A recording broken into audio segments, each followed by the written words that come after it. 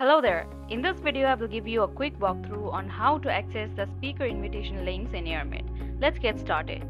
First, go inside the event dashboard and then click on people at the top.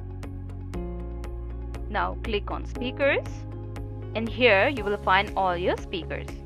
Now, if you hover your cursor over each speaker, you will find the invitation link. You can simply click on send email invite to send the automated email or click on copy invite link to copy the invitation link to share it on the communication channel or via email. Same way you can send invitation to all the speakers individually. So by now you must have noticed that there is no speaker link for this speaker. That is because they are not assigned to any sessions. To assign sessions to the speaker, simply hover over the speaker, then click on this preview. And inside here, click on assign a session Select the session in which you want to assign your speaker to and then click on done. And now you should be able to see the invitation link for the speaker.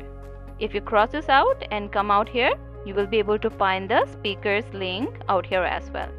Now, if you want to send bulk automated invitations, in that case, click on send invites to speakers. Select the speakers that you want to send your invitations to